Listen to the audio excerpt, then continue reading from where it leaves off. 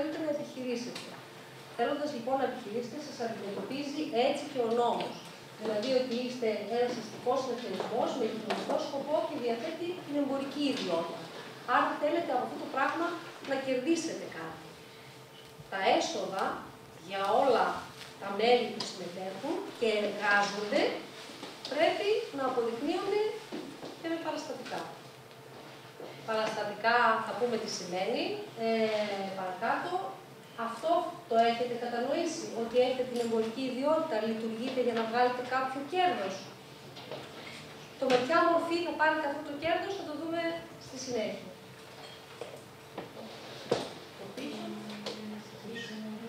Δεν ξέρω αν έχετε πει αυτά τα βασικά, ότι οι κοινωνικές χαρακτηριστικές είναι τριών κατηγοριών, ένταξης, κοινωνικής φροντίδας, συλλογικού και παραγωγικού σκοπού. Ε, ο διαχωρισμός αυτός ε, απαιτείται γιατί έχουμε λίγο διαφοροποίηση φορολογική ή ασφαλιστική στα ένταξης, ας πούμε.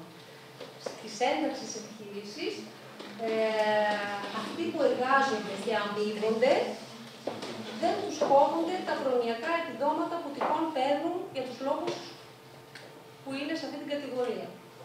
Δεν τους κόβονται. Δεν τους κόβονται.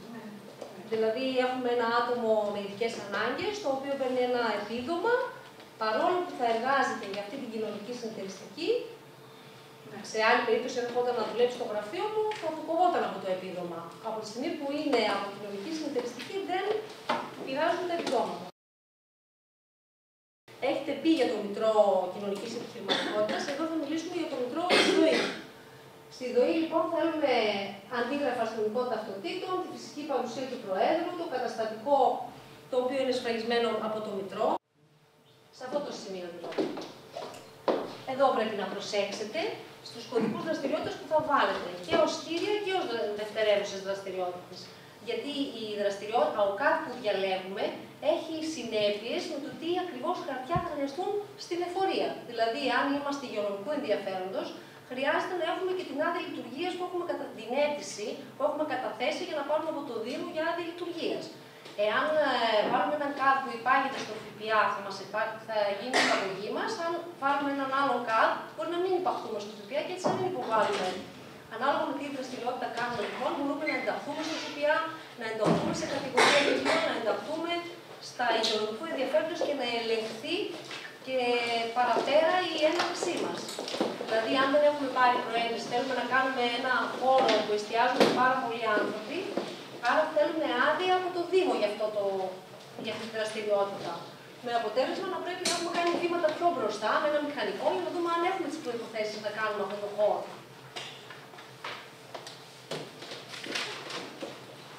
Τα υπόλοιπα είναι έντυπα που δεν ε, θα τα δείτε γραμμένα χρειάζεται χωρίς Αυτές οι προποθέσει ανάλογα με τη δραστηριότητα υπάρχουν κάπου, υπάρχει ένα αρχείο. Υπάρχει ένα βιβλίο που είναι η κωδική αρχή δραστηριότητας, όπου ε, γράφει αν χρειάζεται άδεια εγκατάστασης.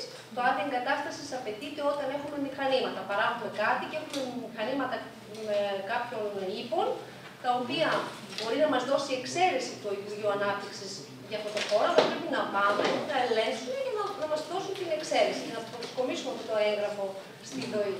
Όταν δηλαδή κατασκευάζουμε κοσμήματα, παράδειγμα, πώς θα κατασκευάζουμε αυτά, αν έχουμε μηχανήματα πόσων ύπων και πόσο νόμιμο είναι αυτός στο χώρο; Δηλαδή, μπορεί αυτός ο χώρος που είναι διαμέρισμα να είναι εργαστήριο; Αυτό ελέγχεται. Έτσι, για την ασφάλεια και των άλλων και τη δική μας. Γι' αυτό και ανάλογα πρέπει να είμαστε προσεκτικοί στους κωδικούς δραστηριότητας. Όπως επίσης πρέπει να είμαστε προσεκτικοί και στην έδρα, έτσι. Γιατί η έδρα, γιατί θα έρθει να κάνει κάποιος αυτοψία όταν πάμε να κάνουμε έναρξη. Να δει το χώρο άδειο και να δει ότι είμαστε πραγματικά άτομα. Δεν είμαστε μια εικονική επιχείρηση και ένα φάντασμα άνθρωπος ο οποίος κάνει μια εικονική επιχείρηση και αρχίζει να κόβει τιμολόγια εικονικά. Αυτός είναι ο λόγος που έρχεται να κάνει αυτοψία. Όπως επίσης θα δει και αν υπάρχουν αντικείμενα μέσα που μπορεί να μας τα έχει πουλήσει κάποιος και να τα έχουμε εδώ χωρίς ακόμα να έχουμε πάρει αφημί. Γι' αυτό πρέπει ο χώρος να είναι άδειος όταν θα έρθει να κάνει ο ελεκτής την αυτοψία, για να πάρουμε αφημί και μετά να πάρουμε πράγματα. Θεωρητικά δεν μπορούμε να έχουμε κάνει καμία πράξη πριν πάρουμε αφημί. Έτσι δεν είναι; Ορίστε.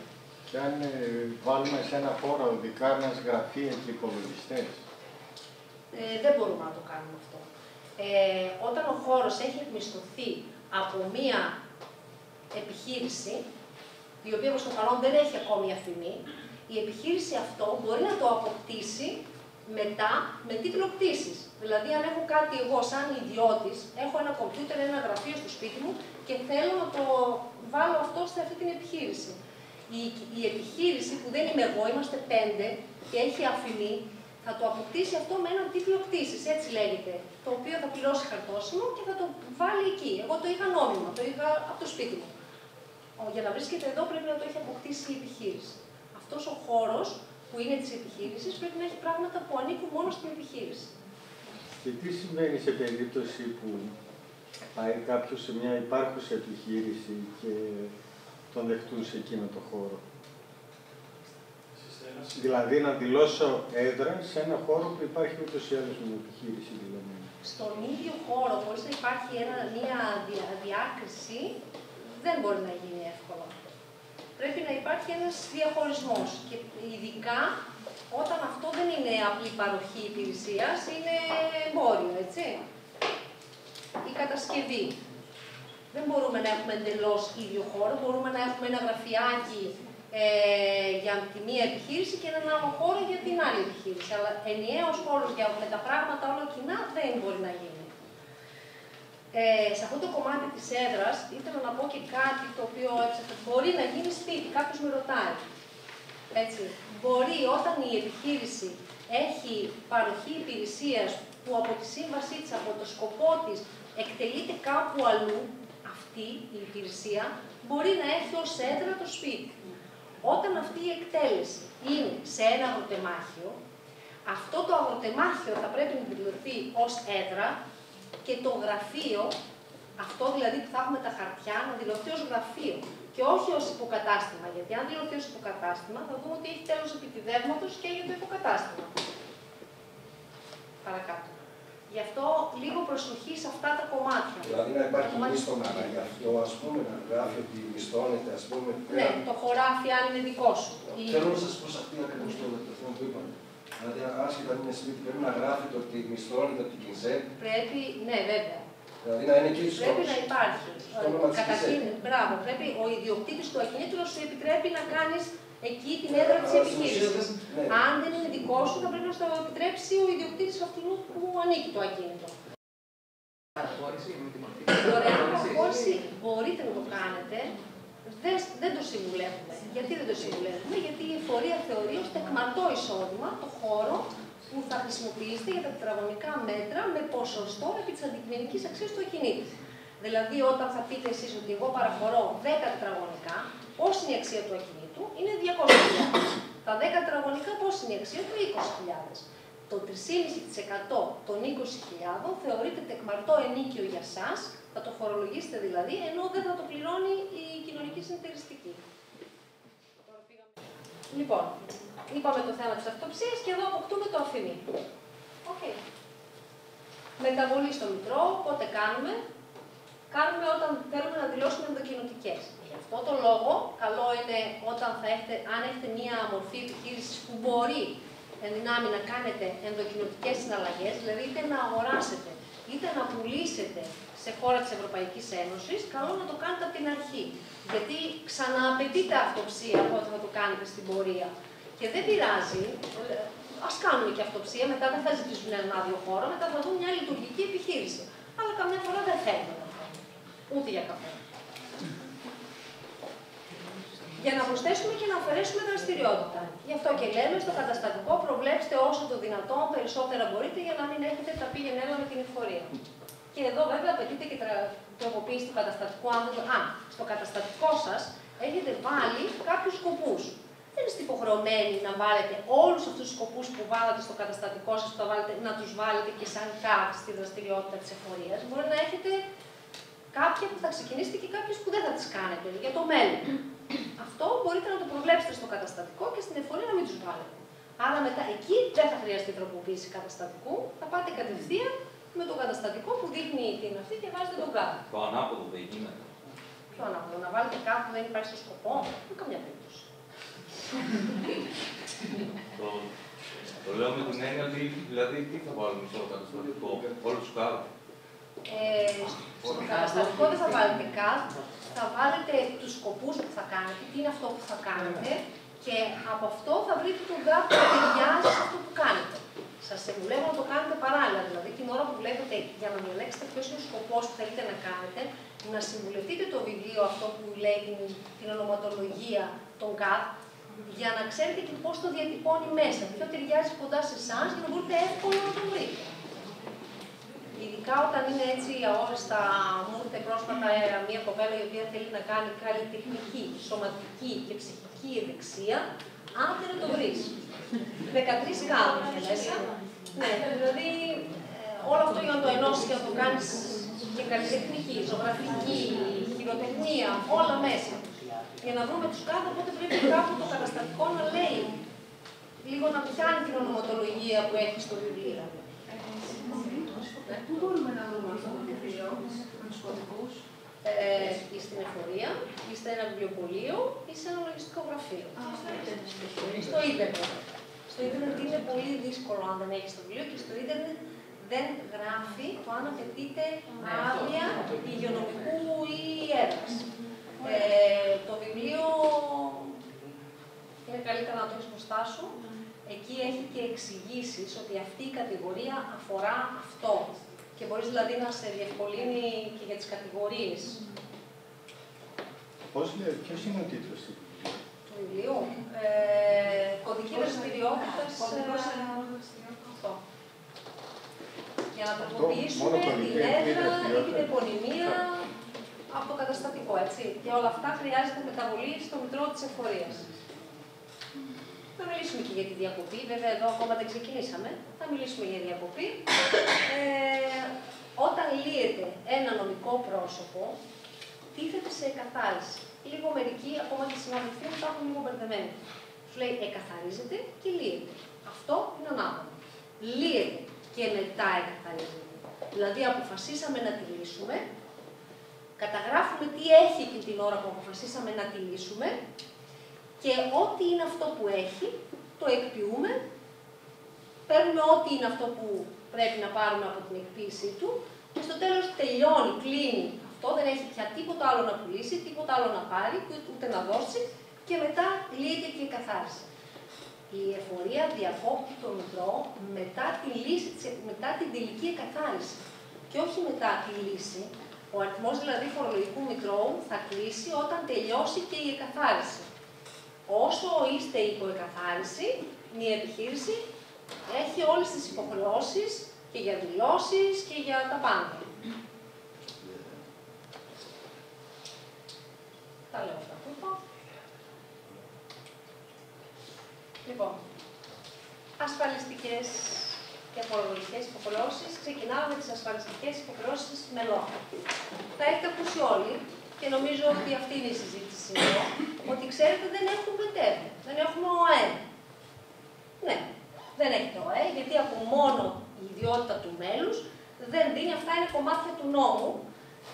Δεν, ε, τα έχω εδώ για να τα, δεν έχετε την, επειδή είστε μέλος, δεν έχετε καμία υποχρέωση σε έναν ασφαλιστικό φορέα. Έχουν υποχρέωση αυτοί που εργάζονται.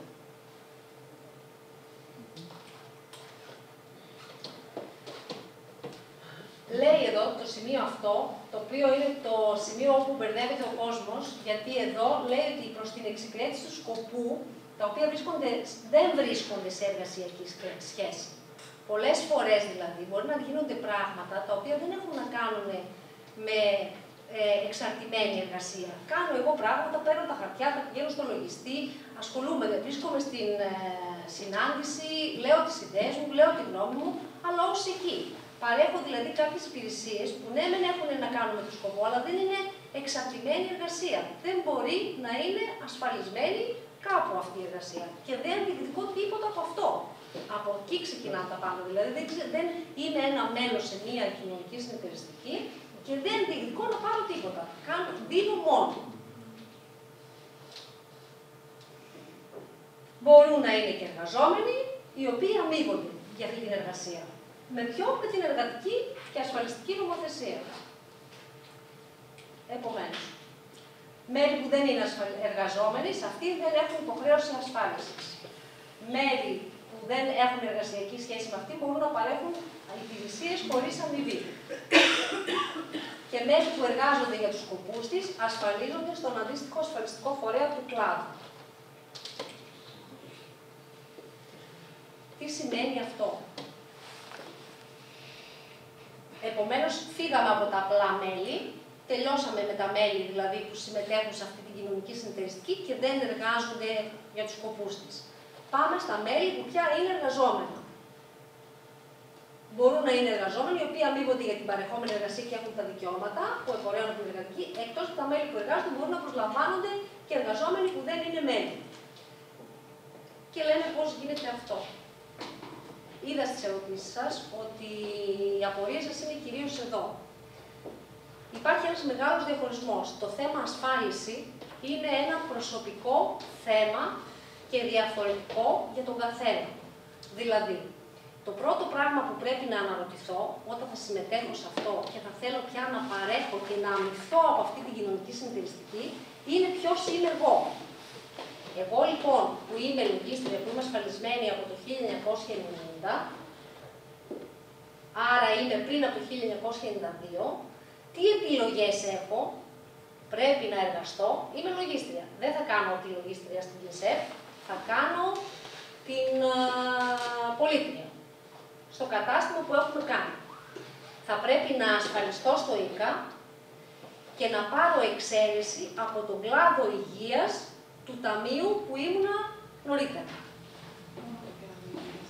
Εγώ που είμαι πριν από το 1992 ασφαλισμένη. Είναι ένας διαχωρισμός το οποίο κάνουν όλα τα ταμεία και έχουν πια ε, ενοποιήσει της, ε, την νομοθεσία και το κάνουν όλοι με τον ίδιο τρόπο. Αυτός που είναι πριν από το 1993 μπορεί να πάρει εξαίρεσης από το Ταμείο της Αυτοαπασχόλησης, λέω, από όποιο ταμείο, το ΤΣΜΕΔΕ, το, θα σας πω, το λέω, το ΤΣΜΕΔΕ, το ΤΣΑΙ και όλα αυτά, αυτά ήταν στις εξαιρέσεις.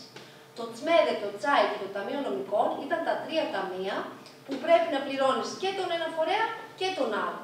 Με διαφορά όμως ασφαλίστου, έτσι. Όταν λέμε και τον ένα και τον άλλο, το ΙΚΑ έχει ενοποιημένα τις καταστάσεις τη ΜΕΔΕ, ΤΣΑΙ, Ταμείο, Ταμείο Νομικών. Τα έχει ενοποιημένα, πληρώνεις άλλο ασφάλιστρο υπέρ ΙΚΑ όταν είσαι ασφαλισμένος στο ΤΣΜΕΔΕ. Δηλαδή, εγώ που απασχολώ ένα μηχανικό, πληρώνω μέσω του ΙΚΑ το τσμέδε του εργαζόμενου. Αυτό πηγαίνει το ΙΚΑ, το στέλνει στο τσμέδε και στο τέλος της χρονιάς μου ζητάει διαφορά ή δεν μου ζητάει και καμία διαφορά. Όταν είμαι στο τσάι, το ίδιο. Που σημαίνει ότι είμαι γιατρός, είναι το τσάι των γιατρών. Όταν είμαι στο Ταμείο Νομικών, σημαίνει ότι είμαι δικηγόρος. Αυτά τα τρία ταμεία ήταν πάντα στις εξαιρέσεις από τις εξαιρέσεις. Δηλαδή δεν μπορούσε να δώσει εξαίρεση το τσμέδε για κάποιον κλάδο. Θα ξέρετε, το δεν ξέρω αν το ξέρετε, ξέρετε ότι όταν πληρώνουμε ασφαλιστικές εισφορές, μέσα σε αυτές τις ασφαλιστικές εισφορές πληρώνουμε διάφορα κομμάτια. Πληρώνουμε για τη σύνταξή μας, για την ιατροφαρμακευτική μας περίθαλψη, για την εργατική κατοικία, για τη στρατιωτική μας θητεία, για, το... για, για διάφορα πράγματα. Αυτά έχουν το κάθε ένα έχει ένα ποσοστό. Έτσι έρχεται και συνθέτεται το ποσοστό 40%. Από, το, από την επιμέρους ανάλυση των ποσοστών που δίνουμε για κάθε πράγμα. Γι' αυτό δεν παίρνουμε σύνταξη το ποσό που, που, που, που εισφέρουμε σαν εισφορά. Παίρνουμε σύνταξη γιατί το κομμάτι της σύνταξης είναι ας πούμε το 15% του μισθού.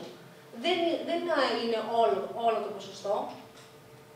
Πληρώνουμε ακόμα και για τις κατασκηνώσεις. Μία φορά το χρόνο πληρώνουμε 20 ευρώ ο κάθε εργαζόμενος για τις ελληνικές κατασκηνώσεις, για τις παιδικές. Υπάρχουν δηλαδή κομμάτια, τώρα πληρώνουμε και υπέρ ΟΑΕΔ. Το ΙΚΑ πάντα είχε υπέρ ΟΑΕΔ. Το ΟΑΕΔ δεν είχε υπέρ ΟΑΕΔ. Και γι' αυτό δεν παίρνει. Και γι' αυτό δεν παίρνει επίδομα ανεργίας, ε. Τώρα παίρνει. Τώρα παίρνει. Με αυτές οι προϋποθέσεις είναι... Τώρα παίρνεις. Και αυτό που πληρώνουμε το μήνα. Είναι 15 ευρώ το μήνα. Εγώ επειδή είμαι ασφαλισμένη στον ΟΑΕ, πληρώνω 15 ευρώ το μήνα. Υπέρ ΟΑΕ στην περίπτωση που κλείσω το γραφείο μου. Και φυσικά έχει κάποιε προποθέσει όπως το λένε. Δηλαδή, γι' αυτό είπα από την αρχή ότι το θέμα ασφάλισης είναι θέμα πολύ προσωπικό. Δηλαδή, ο καθένας πρέπει να κοιτάξει μέσα του για το τελικά αφού θα πάρει εξαίρεση. Παραδείγματος χάρη, σας είπα, εγώ θέλω να εργαστώ σε ένα κατάστημα. Τι πρέπει να έχω, πρέπει να έχω και επικουρική ασφάλιση, την οποία δεν καλύπτει ο ΑΕ, ο ΑΕ μου. Το ΑΕ δεν έχει την επικουρική, άρα πρέπει για την επικουρική να με ασφαλίσει ο εργοδότης. Δηλαδή, το κάθε κομμάτι θα, θα ασφαλιστώ στο ΙΚΑ, θα γίνει μία πρόσληψη και από εκεί και μετά θα επιλέξω όταν είμαι ασφαλισμένος μετά το 1993 έχω το δικαίωμα να, να κάνω επιλογή ασφαλιστικού φορέα. Δεν την έχω αυτή την επιλογή αν είμαι ασφαλισμένος πριν από το 1993. Ένας δηλαδή νεοεισερχόμενο, έτσι τους λέμε αυτούς, νεοασφαλισμένο, που είναι μετά το 1993, έχει έναρξη λογιστής, ασφαλίζεται στον ΟΑΕ και θέλει να κάνει και αυτή τη δουλειά. Προσλαμβάνεται και μέσα σε ένα εξάμεινο έχει δικαίωμα να πάει και να διαλέξει όποιον από τους δύο φορείς θέλει. Μπορεί να διαλέξει το, να έχει τον ΟΑΕ, να συνεχίσει να έχει τον ΟΑΕ. Θα πάρει καρτί από τον ΟΑΕ, θα πάρει εξαίρεση, θα το προσκομίσει τον εργοδότη, θα το ελέγξει το ΙΚΑ και θα πληρώνει ένα ασφάλιστρο 7% σύνολο αντί για 40%. Υπέρ ΙΚΑ που είναι τα κομμάτια αυτά που δεν καλύπτει ο ΟΑΕ. Αντίστοιχα γίνεται σε όλα τα ταμεία, εκτός από τις ΜΕΔΕ, τσάι που τώρα πια είναι νέο να μην τα λέω, είναι το ΕΤΑ. Είναι αυτό. Δεν ισχύει για το ΕΤΑ η εξαίρεση. Άρα δηλαδή όλοι ασφαλιζόμαστε. Το τσάι έχει ειδική κατηγορία για τους ε, όχι ελεύθερους επαγγελματίες, για αυτούς που έχουν σχέση χασμένη συνεργασία. Ναι. Και πληρώνεις το τσάι. Στο ΙΚΑ πληρώνεις. Όχι, εμείς έχουμε, εμείς έχουμε στο ΙΚΑ δύο φαρμακοποιούς και πληρώνει το τσάι. Ναι, και στο Μπορεί να ΙΚΑ πληρώνουμε όμως- στο ΙΚΑ. Ναι, Ναι. πληρώνει στο ΙΚΑ και ένα κομμάτι στο τσάι. Γι' αυτό λέω ότι το κάθε ένα, θε- ο κάθε ένα, στο ΟΓΑ για παράδειγμα. Το ΟΓΑ το οποίο έχει και ιδιαίτερο καθεστώς. Γιατί το, κανον- η- στο ΟΓΑ συνέφεραν κάποτε μέχρι το 98. Από το 98 και μετά έγινε το, το ΟΓΑ ταμείο που μπορεί να εγγραφεί ένας νέος ε, αγρότης. Και κάποιοι οι οποίοι ήταν ασφαλισμένοι από πιο μπροστά έκαναν ενημέρωση του φακέλου τους και εντάχθηκαν το 98 στο ταμείο σαν παλιοί ασφαλισμένοι. Αυτοί θα θεωρούνται ακόμα παλιοί. Αυτοί οι οποίοι έχει βγει και ερμηνεία- ερμηνευτική εγκύκλωση. Θέλω να πω δηλαδή, αυτό που θέλω να μείνει εδώ είναι ότι επειδή είναι ένα προσωπικό θέμα, το θέμα ασφάλισης, ισχύει άλλο για τους αγρότες, για το ΟΓΑ δηλαδή, ισχύει άλλο για τον ΟΑΕ και κάθε- σε κάθε περίπτωση πρέπει να δείτε τι σας συμφέρει. Πέρα από το τι- ποιο ταμείο δηλαδή σας συμφέρει, την επιλογή του να μείνετε ασφαλισμένοι στο ΙΚΑ δεν την έχετε. Ο μόνος τρόπος για να πάρετε ένα κομμάτι των κερδών αυτής της επιχείρησης που κάνετε είναι να ασφαλιστείτε στο ΙΚΑ. Όποιος εργάζεται, όχι στην Ελλάδα, σε όλο τον κόσμο, πρέπει να ασφαλίζεται.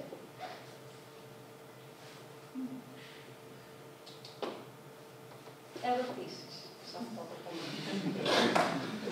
Είναι πριν το 1992, που ήμουν στο ΙΚΑ. Βέβαια, μετά άλλαξε φορέα. Πήγα στην Ρώμη. Λέω ότι θα ξαναγυρίσω πίσω που λέω έχω κάποια. Πώ το λένε. Ελάφρυνση πάνω σε αυτό. Όχι, απλώ επειδή ήσασταν πριν από το 92 δεν έχετε επιλογή φορέα. Ναι. φορέα επιλογή ασφαλιστικού φορέα την έχει αυτός που είναι το, από το 93 και μετά.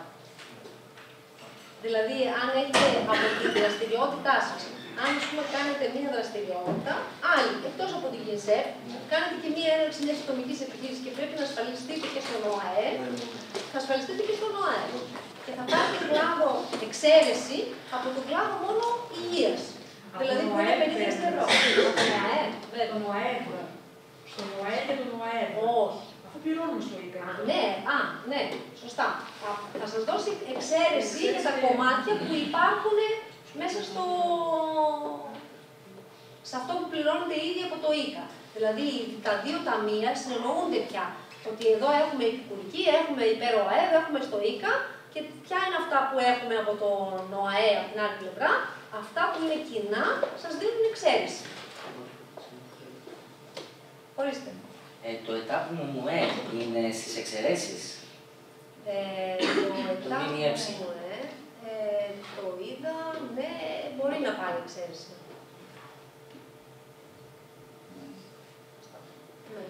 Ε, έστω ότι ξεκινάει μια. Τώρα, όταν λέμε εξαίρεση έτσι, πα- όχι ολική, πάλι ελέγχεται. Θέλω να πω δηλαδή ότι όταν θα φτάσετε σε μια διαδικασία, αυτό ο καθένας σύμφωνα με το πού είναι, πότε ήταν πρωτοασφαλισμένος και πού είναι και τι είναι αυτό που επιδιώκει, θα πάρει συγκεκριμένες πληροφορίες από το ταμείο του. Και τη βεβαίωση ούτω ή άλλως για να την πάει στον εργοδότη που είναι η ΚΙΣΕΠ, εργοδότης είναι η κοινωνική συντηρητική που θα μας απασχολήσει. Θα πάει μια βεβαίωση από το ταμείο του για να δει ο λογιστής της ΚΙΝΣΕΠ αυτό το ασφάλιστρο που πάω να βάλω, πόσο τη εκατό πρέπει να είναι και γιατί, τι έγγραφα πρέπει να έχω. Να πω λίγο πιο πίσω με τα μέλη και τους εργαζόμενους. Έστω ότι ξεκινάει μια ΚΙΝΣΕΠ μόνο με μέλη. Αυτή θεωρητικά δεν θα μπορούσε να παράγει τίποτα. Θεωρητικά. Πρακτικά, σε έναν ενδεχόμενο θα μπορούσε για παράδειγμα να γίνει Πρακτικά, είναι τα κάτι μέλη το να οποίο, κάνουν, ε, να κάνουν μια έξι εθελοντικής εργασίας. Με ποιο σκοπό; Καταρχήν πρέπει να σας πω ότι από την ασφαλιστική νομοθεσία η εθελοντική εργασία απαγορεύεται. Ούτε με... Δεν υπάρχει σαν υπεύθυνη πρόβλεψη. Με υπεύθυνη δήλωση μπορούν κατ' εξαίρεση κάποια πράγματα τα οποία έχουν ελέγχονται όμως αυτά. Δηλαδή, μπορεί να κάνει αίτηση κάποιος στο ίδιο και να πει ότι εμείς θέλουμε σήμερα στην ενορία να μοιράσουμε φαγητό. Και θα έρθουν η κυρία Θωμαή, η κυρία Λογία να μαγειρέψουν και θα μοιράζουν φαγητό. Αυτό ελέγχεται, καταθέτει την αίτηση και αν τυχόν ε, γίνει κάποιος έλεγχος, έχει ήδη κατατεθεί πιο μπροστά αυτή η αίτηση ότι θα γίνει αυτό το πράγμα, αυτή η εκδήλωση. Πρακτικά δηλαδή δεν μπορεί να Πρακτικά στο ξεκινήσει business μια plan που θα κίνηση. κάνετε πρέπει να υπολογίσετε την εργασία σας. Δεν μπορεί να ξεκινήσει μια κίνηση, δηλαδή η οποία... Να ξεκινήσει έτσι, ξεκινάει όταν δεν έχει καμία δραστηριότητα. Εσείς το μόνο που αποφασίσετε αυτή τη στιγμή είναι να κάνετε τι θα κάνετε. Και από την ώρα που θα αρχίσετε να κάνετε όμως, είναι το, το σημείο κλειδί. Ποιος κάνει, πόσε ώρες, με τι απασχολείται, πού εργάζεται και τι αποσκοπεί να πάρει. Θα φύγει από εδώ το τέλος του μήνα και τι χρήματα θα πάρει, τίποτα. Εξαρτημένη εργασία σημαίνει ότι είμαι εδώ, σε έναν χώρο, συγκεκριμένες ώρες πρέπει να είμαι, κάτω από κάποιες συνθήκες και πρέπει να έχουμε κάθε, καθημερινά στην εργασία μου. Ή να είμαι σε έναν χώρο, αν όχι καθημερινά, όποτε λέει το πρόγραμμά μου. Μπορεί να λέει το πρόγραμμά μου Δευτέρα, Τετάρτη, Παρασκευή, 6 με 8. Είναι εξαρτημένη εργασία. Μπορώ να λείψω. Ορίστε. Αν, αν σε τελική ανάλυση εσύ προσφέρεις υπηρεσίες, για παράδειγμα, ή παραγωγή αγαθών ε, βάσει contract, δηλαδή μια σύμβαση που κάνεις με κάποιον τρίτο. Μπορείς, όσο δεν έχεις κάποια σύμβαση που τρέχει ή κάποιο ευρωπαϊκό πρόγραμμα που τρέχει, μπορεί να μην εργάζεται κανένας. Σαφώς. Και δεν υπάρχει κάποιο θέμα, δηλαδή και, το γραφή, και η γραμματιακή υποστήριξη που λέμε μπορεί να είναι απλώς ένας κόμβος ο οποίος δέχεται κάποια μέρη και το, η Γενική Συνέλευση μπορεί να τα ελέγχει. Άρα Όσο δεν υπόκειται υπάρχει σε εργασία. παραγωγή, Δεν υπάρχει δραστηριότητα, μπορεί να μην έχει εργαζόμενο. Να προσφέρει αυτές τις υπηρεσίες ένας άνθρωπος που είναι μέλος και που δεν έχει εξαρτημένη. Δηλαδή, μπορεί να με βρείτε σήμερα εδώ, αλλά δεν με βρείτε. Α, και αυτός που οπότε, θα επιχειρήσει να με βρείτε μπορεί να. Οπότε δεν τίθεται κάποιο θέμα σε Δεν σχέση τίθεται με θέμα αυτό. όταν δεν έχω. Ακόμα και να βρίσκονται τα άτομα μέσα στο γραφείο της Θα ΚΙΣΕ. βρεθούν, θα βρεθούν μέσα στο γραφείο. Θα βρεθούν για να συναντηθούν, για να πούνε αυτά που πρέπει να πούνε, για να κάνουν τις συναντήσεις τους στο κομμάτι του ταμιακό, αυτά που πρέπει να κάνουν μια φορά το μήνα, σαφώς θα βρεθούν. Το οποίο Αλλά μπορεί δεν να είναι και κάθε μέρα ξεκάθαρο. θεωρητικά. Όταν θα πω, θα, από μακριά θα δω αν αυτή εργάζεται ή αν εδώ απλώς πίνει καφέ και περιμένει να συναντηθούν για να κάνουν μια κουβέντα. Μπορεί να κάνει και κάποια άλλη δουλειά για πάρτι του. Δηλαδή Να μπορεί να διευθυνθεί, διαβάζει. Αλλά μπορεί να φτιάχνει κόσμο εκεί την ώρα. Όχι. Α. Μπορεί να είμαστε σε ένα μαγαζί και να σερβίρει. Ο νόμος, εκτός από τις κοινές επένταξεις, πουθενά δεν λέει ότι είναι υποχρεωτικό να έχουμε εργαζόμενο. Έτσι. Ο νόμος μόνος στις κοινές επένταξεις υπογράφεις υπεύθυνη δήλωση ότι σε ένα 40%. μήνα με και ότι σε ένα μήνα μέσα θα έχεις τουλάχιστον έναν εργαζόμενο. Αλλιώς και με αυτόν τον τρόπο, όσε κοινέ επένταξει ξεκίνησαν έχουν διαγραφεί. Ένα ή δύο μήνες. Σε δύο μήνες. Πάντως, όσε κοινέ δεν το κάνανε αυτό, διαγραφήκαν και αυτό και αυτό κιόλας. Υπάρχουν ελάχιστοι, να μην πω καθόλου κοινέ επένταξει πραγματικά που να υπάρχουν στο Μητρό, να μην έχουν διαγραφεί.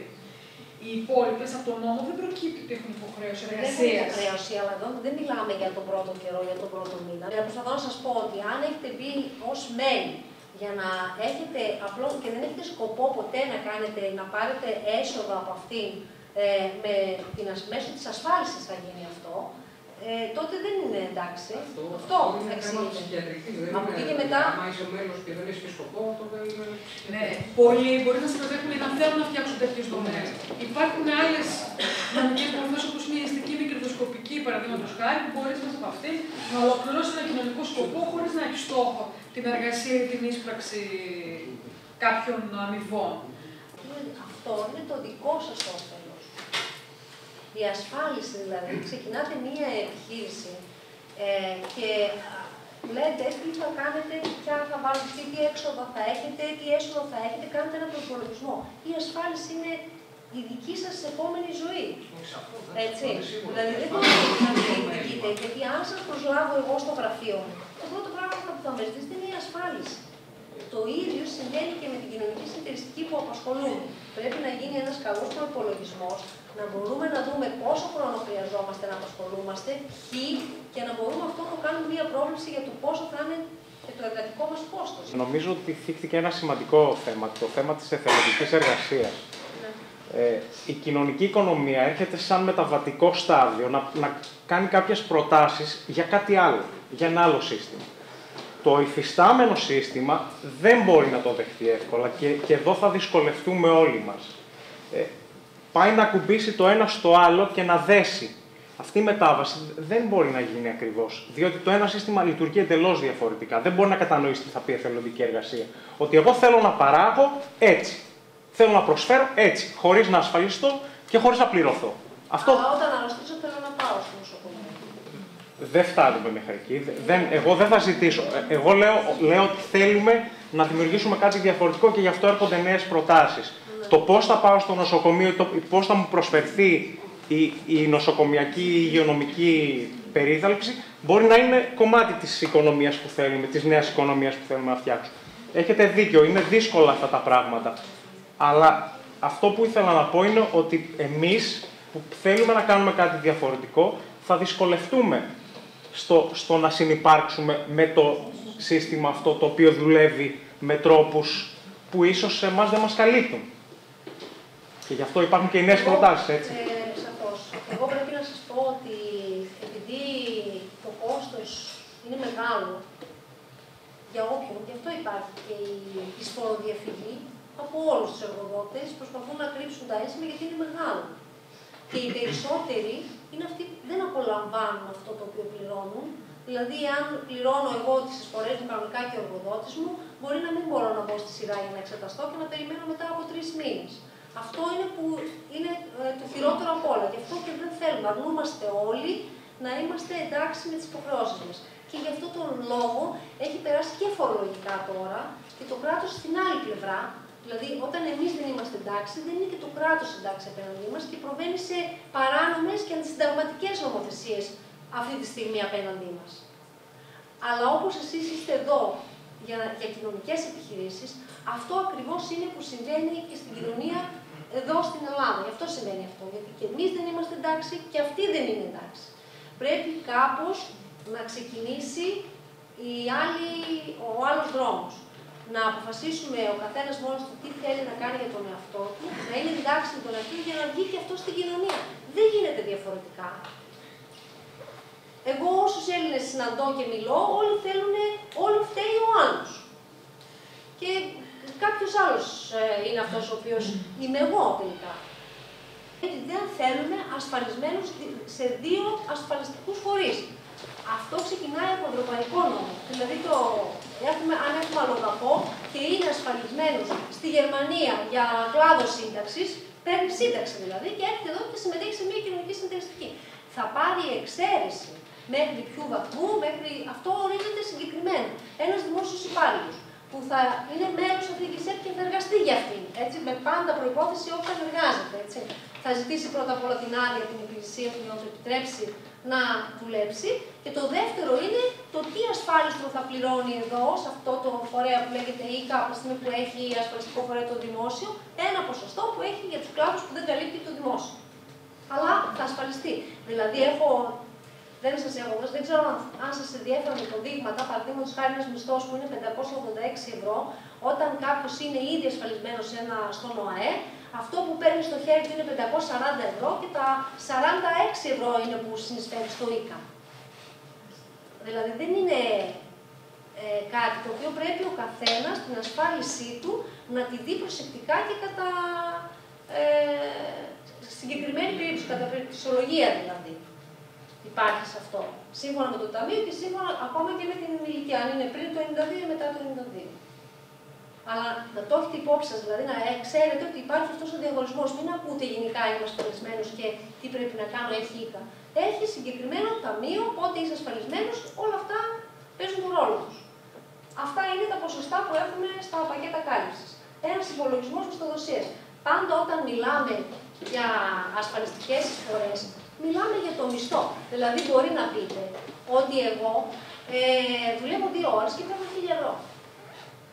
Το ότι δύο ώρες δεν κάνει το ασφάλιστρο, το χίλια ευρώ κάνει το, δίνει το ασφάλιστρο. Επειδή παίρνετε χίλια ευρώ, πληρώνετε εισφορέ και εργαζομένου και εργοδότη.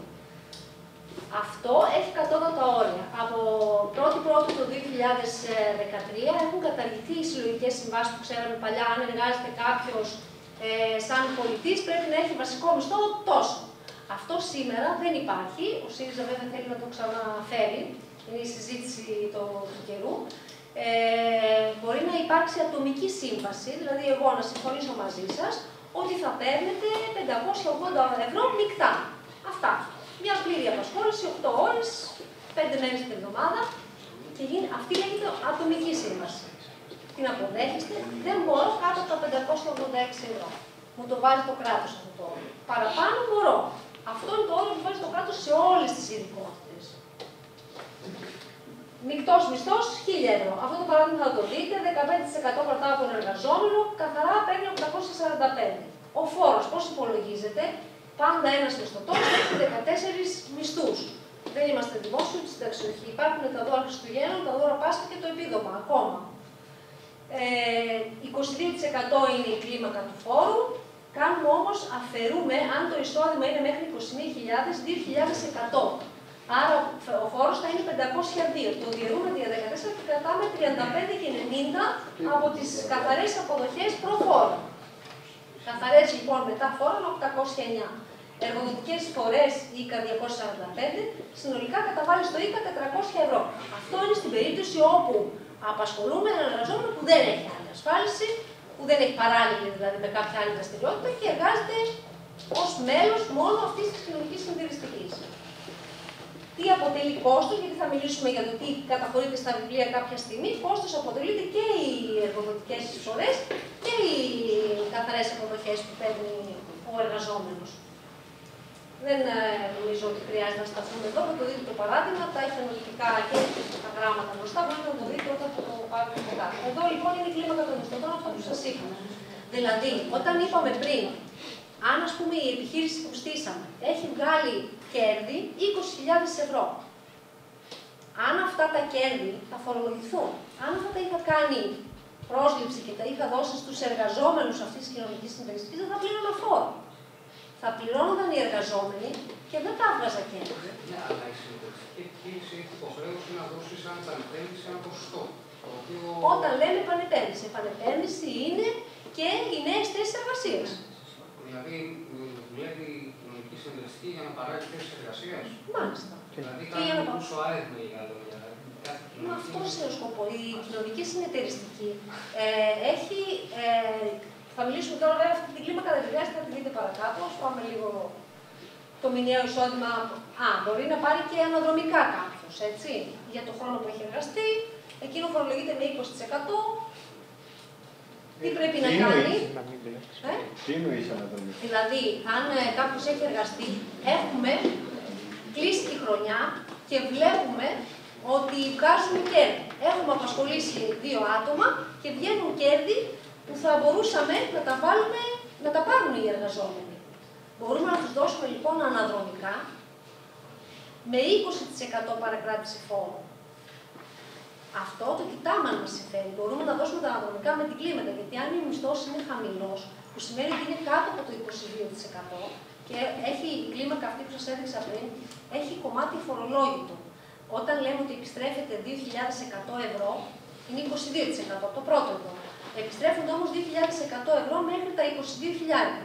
Αυτό αν το βάλετε τα 2.100, το 22% είναι 9.500. Δηλαδή 9.500 το 22 είναι 2%. Αυτό σημαίνει ότι αν κάποιος εργαζόμενος πήρε μέχρι 9.500 ευρώ, του συμφέρει να του δώσουμε αυτά τα αναδρομικά με τη μορφή κανονικού μισθού και όχι σαν αναδρομικά και έτσι να φύγουν κέρδη από τα βιβλία μας. Μόνο σε αυτούς που έχουν δουλέψει προηγουμένως ή μπορεί και σε άλλα μέλη.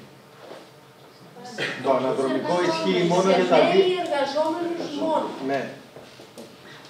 Αναφέρεσαι, αν έχουμε πέντε μέλη για παράδειγμα και μπορούν να είναι όλοι εργαζόμενοι και είναι δύο που έχουν εργαστεί στη χρονιά, αναδρομικά μπορεί να περάσει σε αυτούς τους δύο ή μπορεί να περάσει και σε κάποιο άλλο μέλος εργαζόμενο. Γιατί έχω κάνει παράβαση αν το κάνω αυτό. Δεν Α. έκανα πρόσληψη την ώρα που έπρεπε να κάνω στον εργαζόμενο. Αν όμως έχω ήδη κάνει πρόσληψη, μπορώ να δώσω αναδρομικά. Πόσο πρόστιμο είναι, λέω. 19.500 πρόστιμο. Ναι. Ε, αν έχω κάνει ήδη πρόσληψη στον εργαζόμενο και δύο μήνες δεν έχω εργασία τον χρόνο. Ε, πρέπει να το χωρίσω αναγκαστικά και τα 14 έσημα. 20 μήνε. 14 μήνες εννοείται. Όχι, από του 12 μήνες, 10 μήνες έχω δουλειά. Και δύο μήνες δεν έχω. Και ένα μήνα παίρνει άδεια, ναι, άρα 11. Ναι, δύο μήνες δεν έχω, δεν πληρώνω για τους δύο μήνες τώρα. Δεν μπορώ να το πληρώσω, ναι, δεν έχω έσοδο. Ε, αυτό το ΑΕΔ πρέπει να το ΑΕΔ στο ΙΚΑ πρέπει να το πληρώσω σαν έξιμο 14 δηλαδή. Να το πληρώσω 14 μήνες σαν έξιμο. 14. Ναι. Και άλλος ο εργαζόμενος δουλεύει 11 μήνες και πληρώνει για 14 γιατί δικαιούται και ένα μήνα άδεια. Ναι, ναι, ναι. Έτσι. Ναι. Ε, υπάρχουν διαδικασίες να πείτε ότι εγώ παίρνω άδεια άνευ αποδοχών. Κάνετε δήλωση στο ΙΚΑ, γίνεται αυτό που λέτε. Κάνετε δήλωση στο ΙΚΑ ότι θα πάρετε άδεια άνευ αποδοχών για δύο μήνες που είναι κλειστή η επιχείρηση και δεν θα πληρώνετε ένσημα. Αν είστε σε επιδότηση επειδή το πριν, θα χάσετε την επιδότηση. δηλαδή, αυτά έρχονται. Η επιδότηση λέει δημιουργούμε θέσεις εργασίας. Αν είναι μειωμένη η απασχόληση, το κάνουμε αίτηση αυτό και δεν παίρνουμε όλη την επιδότηση, παίρνουμε ποσοστό. Ναι. Δηλαδή, από την πρώτη στιγμή προσλαμβάνεται κάποιος για να εργαστεί σε αυτή την επιχείρηση. Ξέρουμε λοιπόν μέρες, ώρες και λέμε από την αρχή θα είναι για 6 ώρες. Η επιδότηση που θα πάρουμε από τον ΟΕ δεν θα είναι ολόκληρη, θα είναι ποσοστό. Αν όμως έχουμε και μία άδεια, αν έχουμε άδεια αστυνομίας, δεν υπάρχει κανένα πρόβλημα. Αν έχουμε άδεια εγγύησης, δεν υπάρχει κανένα πρόβλημα. Αν έχουμε άδεια άνευ αποδοχών, υπάρχει πρόβλημα γιατί σταματήσαμε δύο μήνες και επιδοτούμαστε δεν διανέμονται στα μέλη της, εκτός εάν τα μέλη αυτά είναι και εργαζόμενοι σε αυτή. 5% για το σχηματισμό αποθεματικού. Ο αρχικός νόμος, ο 4019, που μιλάει γι' αυτό, λέει ότι εδώ δεν θα είχε φορολογία. However, ήρθε το 2013 ένας άλλος νόμος και είπε ότι αυτό καταργήθηκε από την ώρα που ίσχυσε. ότι δεν θα υπάρχει φορολογία σε αυτό το 5%. Γιατί δεν υπάρχει άλλη μορφή που να έχει αφορολόγητα αποθεματικά έως 35%. Γιατί βάζουμε το έως, γιατί δεν, δεν θέλουμε να είναι παραπάνω. Δεν πρέπει να είναι παραπάνω. Να πηγαίνει στους εργαζόμενους ως κίνητρο παραγωγικότητας.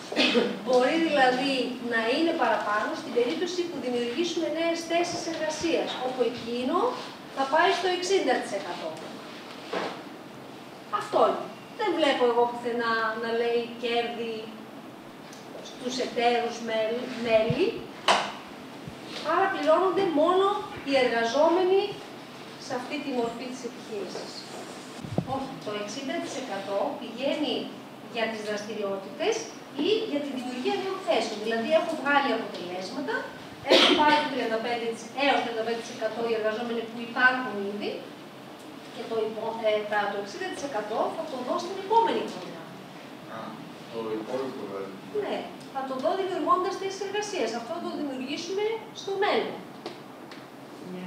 Αν δεν υπάρχουν εργαζόμενοι στο τέλος της χρονιά, το 35% μπορεί να μπει στο πραγματικό. Όχι. 5% είναι μόνο. Εκεί θα μείνει αναγκαστικά. Δεν μπορεί να γίνει κάτι άλλο. Δηλαδή, έχουμε κέρδη 10.000 ευρώ, 10.005 κρατάμε από θεματικό και τα υπόλοιπα στην, στην πράξη επανεπενδύονται. Στην πράξη γίνεται αυτό, έτσι. Δηλαδή, από τη στιγμή που δεν μπορεί να τα πάρει κανείς, δεν έχουν, δεν έχουν μείνει μέσα στο ταμείο. Ε, μία διευκρίνηση ακόμα.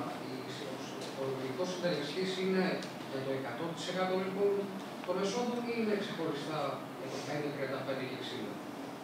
Εδώ που λέτε, από τη στιγμή που το 35% θα πάει ως μισθή, δεν φορολογείται με τον, 20, με τον συντελεστή του νομικού προσώπου.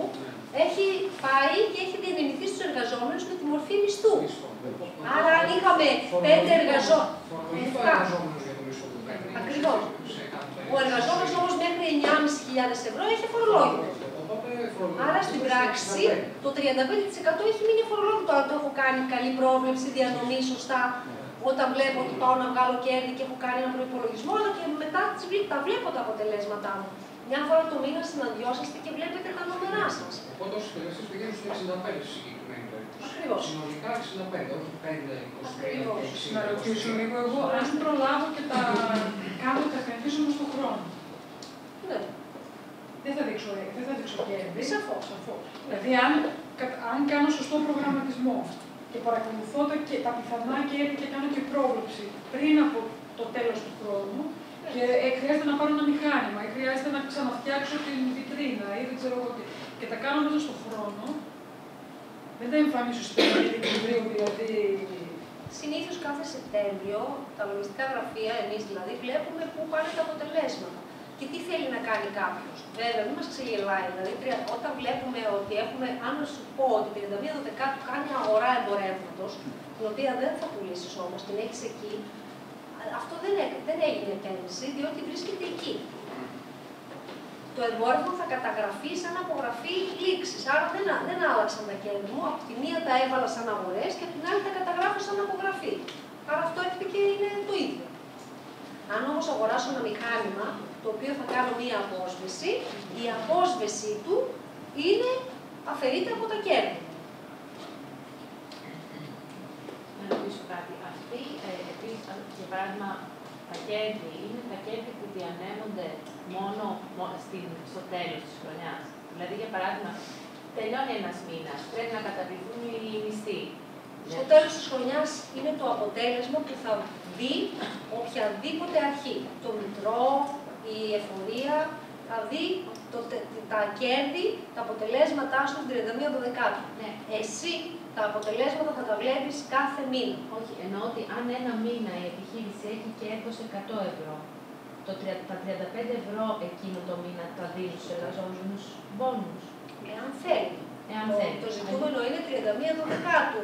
Τι έχει γίνει; Δηλαδή, είχαμε 10.000 ευρώ, είχαμε έως, έως 3.500 ευρώ μισθοδοσία. Όχι, δεν πήγαμε αυτό. Αυτά μεταφέρονται. Έχουν φορολογηθεί, έχουν μειωθεί και πάμε στην επόμενη κρίση. Κάναμε επένδυση για το, για το προσωπικό. Για αυτούς που πρέπει να πληρωθούν από αυτή την κοινωνική συνεταιριστική. Το 35% είναι σύγκρουση μισθού. Εκτός των μισθών. Όχι, αυτό το βλέπουμε. Το βλέπουμε μέσα. Δηλαδή, αυτή τη στιγμή ξεκινάει, δεν έχουμε κανέναν μισθωτό και βγάλαμε 10.000 ευρώ κέρδη. Τι πρέπει να κάνουμε, να πάρουμε προσωπικό. Αφήκαμε τώρα. Ναι, για παράδειγμα. Έτσι. Ε, το 35% είναι το ποσό που πρέπει να πάρουν οι εργαζόμενοι ως μισθό όλοι. Έως 35%. Έως. Όχι, δεν υπάρχει καθόλου. Μισό, δεν είναι μισθός. Δεν είναι μισθή. Είναι πέραν των μισθών, είναι πόνους. Η μισθή σε επόμενους εργαζόμενους.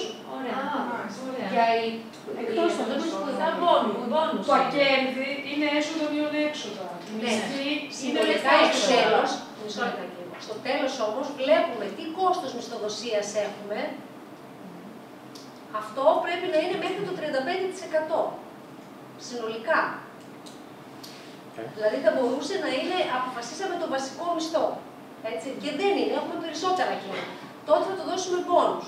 Εάν δεν έχουμε όμως αυτό, έχουμε, ε, έχουμε κάνει μια παραγωγή, δεν βάλαμε προσωπικό και βγάλαμε κάποια κέρδη. Πρέπει να επενδύσουμε μετά στο προσωπικό. Πρέπει να βάλουμε άτομα με εξαρτημένη εργασία που να είναι μέχρι εκεί. Το παραπάνω δικαιολογείται για νέες θέσεις εργασίας. Ε, Πώς άμα δεν έχουμε μισθωτό, έχουμε παραγωγή και έχουμε κέρδη; Ε, με τον τρόπο ξεκινάμε και βλέπουμε. Φορολογικές υποχρεώσεις. Θα μιλήσουμε για τα καινούργια που ισχύουν από 1η Πρώτη του 2015. Τι είναι τα ελληνικά λογιστικά πρότυπα; Ό,τι ξέραμε με βιβλία έχει αλλάξει. Δεν υπάρχουν πια βιβλία εσόδων εξόδων, τα άλλαξε δηλαδή όνομα. Δεν, ε, δεν άλλαξε κάτι ουσίας, αλλάξαμε τα ονόματά τους. Αυτό λοιπόν παραλίγο να γίνει η στραβή για τις κοινωνικές συνεταιριστικές. Στο νόμο πέρασε ότι οι κοινωνικές συνεταιριστικές επιχειρήσεις υπάγονται σε διπλογραφικά βιβλία. Το είδαμε κάποιοι που διαβάζουμε λίγο σχολαστικά. Το πρώτο πράγμα που έκανα, πήγα στο, πήρα στο Υπουργείο και μου είπαν εντάξει, εντάξει, μην το κοιτάτε και μην το διαρρεύσετε, θα, τρο, θα τροποποιηθεί, θα έχουμε τροπολογία σε αυτό. Και οι συνεταιρισμοί δηλαδή, εντάχθηκε εκεί. Οι συνεταιρισμοί από τη στιγμή που υποχρεούνται λέει, να, να συντάσσουν ισολογισμό για άλλη χρήση, που έχετε την υποχρέωση αυτή, θα τηρείτε και διπλωγραφικά βιβλία. Και ευτυχώς ήρθε, γι' αυτό αναφέρω τη 1003, η οποία λέει ότι είστε διπλωγραφικά, και η 1024 που έδωσε την απαλλαγή στους συνεταιρισμούς μέχρι 1,5 εκατομμύριο ε, ευρώ. Μέχρι εκεί δηλαδή τηρούνται απλογραφικά τα βιβλία. Τα παλιά εσόδων-εξόδων ή β' κατηγορίας όσοι τα ξέρουν.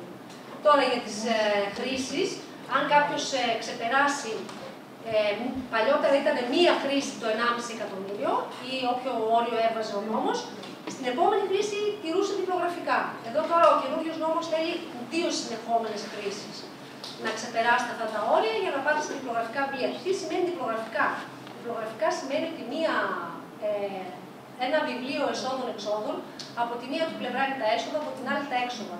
Δεν αποτυπώνεται πουθενά σε αυτά τα βιβλία το αν αυτό το έσοδο σας το οφείλουν ή αυτό το έξοδο το οφείλεται. Αυτό για να αποκομιστεί θέλει διπλοεγγραφή.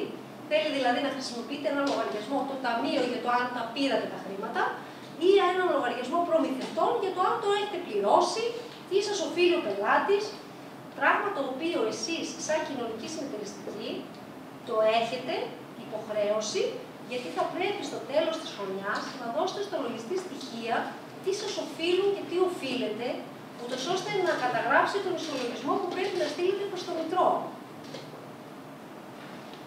Θα το κρατάτε όμως σε Δευτέρια τα οποία τευτέρια με τον καινούριο νόμο δεν απαγορεύονται. Με το καινούριο νόμο δεν έχουμε θεώρηση. Δεν τρυπάει κανένας στα βιβλία, δεν θεωρεί κανένας τίποτα και γράφει ό,τι θέλει. Τι λέει ο νόμος γι' αυτό, λέει η καταχώρηση των συναλλαγών και γεγονότων στο απλογραφικό σύστημα να γίνεται εντάξει, πληρότητα και ορθότητα. Ό,τι θέλει ο καθένας γράφει, αρκεί να μπορεί να αποδείξει αυτά που λέει. Και τι έχουμε πια, έχουμε λογιστικά αρχεία που είναι τα βιβλία και λογιστικά στοιχεία που είναι τα παραστατικά. Παραστατικά είναι το τιμολόγιο. Είτε χειρόγραφο, είτε μηχανογραφημένο, ή ένα παραστατικό. Έκοψα και λέω ότι μου χρωστάς. Ποιος, εγώ, εσένα, εσένα μου δίνεις το αφημί σου, τι μου χρωστάς γι' αυτό, αυτό είναι και έγραφο. Δεν χρειάζεται να έχει κάποιες και προδιαγραφέ, να γράφει το σκοπό, να γράφει το που έφυγε, το που πήγε, γιατί Όλα αυτά τελειώσαν. Οι χρηματο, χρηματοοικονομικές καταστάσεις, αυτές δηλαδή που είπαμε για το ποιος μας οφείλει και ποιος, ε, σε ποιον οφείλουμε, υπογράφονται ε, από εξουσιοδοτημένο μέλος, τον πρόεδρο της Διοικούσης Επιτροπής και από τον υπεύθυνο λογιστή. Εδώ έρχεται να πούμε ότι πότε υπογράφεται αυτή η κατάσταση, όταν συνταχθεί και τη στείλετε στο Μητρό, πρέπει να έχει μια υπογραφή λογιστή δεν μπορεί να έχεις συντάξει ένα ε, φυσικό πρόσωπο που δεν ξέρει όρου μια οικονομική κατάσταση. Αυτό συμβαίνει και την ώρα που υποβάλλουμε τη δήλωση. Η χρηματοοικονομική κατάσταση είναι το ε3 που υποβάλλουν οι επιχειρήσεις. Οι ατομικές είτε είναι οντότητες. Ο καινούριος νόμος επίσης θέλει να τις λέει οντότητες αυτές. Είναι όλες οντότητες. Ο χρόνος τα προγραφικά βιβλία εντός του επόμενου τριμήνου. Δηλαδή, ο Ιανουάριος, Φεβρουάριος, Μάρτιος πρέπει να είναι κάπου γραμμένα τον Απρίλιο, Μάιο, Ιούνιο, μέχρι εκεί. Μετά έχουμε παραβάσεις. Τα διπλογραφικά εντός του επόμενου μήνα, γιατί αυτά βγάζουν κάθε μήνα αποτελέσματα. Η ποσοτική καταχώρηση αποθεμάτων, το τι εμπορεύματα έχουν μέσα στο μαγαζί μας, είναι με τη σύνταξη των χρηματοοικονομικών καταστάσεων. Ήταν μέχρι τις 20 Φεβρουαρίου κάθε χρόνο από τότε που εγώ ασχολούμαι με αυτό το επάγγελμα. Αυτό τελείωσε φέτος. Φέτος πρέπει να απογράψω τα εμπορεύματά μου σε, σε επίσημες. Δεν υπάρχουν επίσημες, υπάρχουν ένα χαρτί το οποίο αποφάσισα να γράψω κάπου καθαρά, με ορθότητα, πληρότητα, την απογραφή μου και να την αποκονίσω μαζί με τα αποτελέσματά μου. Αυτή η απογραφή πρέπει να γίνει μέχρι την ώρα που έχω υποχρέωση να υποβάλω δήλωση. Τόπος, όπου θέλετε. Αρκεί να επιδεικνύονται κατά τον έλεγχο. Και μπορείτε να τα ψηφιοποιήσετε κιόλας και να τα έχετε όταν σας ζητηθούν. Δεν ανάγκη να υπάρχει σε χαρτί κάτι, μπορείτε να τα έχετε ψηφιακά. Τα παραστατικά. Και τα παραστατικά. Και τα παλιότερα Δεν χρειάζεται να κρατάμε δηλαδή την Όχι. Την περνάω εγώ στον υπολογιστή. Αυτό. Όλα αυτά που λέμε, ε, πόσα χρόνια δυνάμει μπορεί να σας κάνει έλεγχο κάποιος. Α, αυτό είναι μια πληγωμένη ιστορία για την παραγραφή. Το θέμα έχει πάρει διαστάσεις. Αν βρω κάποιον λόγο να σας κατηγορήσω για κάτι, δεν υπάρχει παραγραφή 20 χρόνια. Κανονικά είναι 5. Ο νόμος λέει 5. Αλλά αν εγώ βρω ένα στοιχείο το οποίο ε, σας κρίνω παραβάτη, 20 χρόνια έχω δικαίωμα να, να γυρίσω πίσω. Και τα λογιστικά στοιχεία. Είπαμε στοιχεία είναι τα παραστατικά. Κάθε έγγραφο που περιλαμβάνει όλες τις πληροφορίες που απαιτούνται για το τιμολόγιο θεωρείται τιμολόγιο. Αν εγώ γράψω ένα χαρτί, ποιος πουλάει τι, όπως σας είπα πριν, είναι τιμολόγιο. Η εξόφληση θεωρείται και έμεση αποδοχή. Δηλαδή, αν με πληρώσετε γι' αυτό, το έχετε αποδεχθεί. Δεν χρειάζεται άλλη διαδικασία, γιατί παλαιότερα έπρεπε να υπογράψω, να παραλάβω. Στα χαρτιά, στα τιμολόγια υπήρχαν τέτοιου είδους ε, προβλήματα. Δεν προβλέπεται, αυτό σας ενδιαφέρει, ε, η έκδοση τιμολογίου για την ίσπραξη αποζημιώσεων, επιδοτήσεων, οικονομικών ενισχύσεων, επιστροφών τόκων, εισφορών και λοιπόν συναφών εισόδων. Τι απόδειξη υπάρχει, δεν υπάρχει κανένας φορέας να μην σας βάλει τα λεφτά στην τράπεζα. Κανένας. Οποιοδήποτε είναι αυτός που θα σα εκδοτήσει, τα χρήματα θα σα τα βάλει στην τράπεζα. Δεν θα σα τα δώσει στο χέρι. Αποδεικτικό λοιπόν το καταθετήριο τη τράπεζα. Ο σκοπός που έχει εκδοθεί αυτό είναι καλό να υπάρχει ιδιωτικό πολιτικό. Με οποιοδήποτε φορέα έχουμε κάνει κάποια σύμβαση, πρέπει να έχουμε συντάξει τι θα είναι αυτό που θα πάρω, γιατί θα το πάρω, πότε θα το πάρω. Παραστατικά διακίνησης. Δηλαδή, στέλνω εγώ τα πράγματα και τα πηγαίνω στον άλλο χώρο. Είτε για να τα πηγήσω, αν τα πηγαίνω για να τα πηγήσω και δεν τα τιμολογώ εκείνη την ώρα, πρέπει να κόψω ένα χαρτί. Πώς λέγεται αυτό το χαρτί, όπως θέλω. Όπως θέλω. Πώς θέλετε να το ονομάσετε εσείς; Συνοδευτικό; Δεν λέγεται πια δελτίο αποστολής. Το κόψαμε. Δεν λέγεται τρόικα, είπαμε, λέγονται θεσμοί.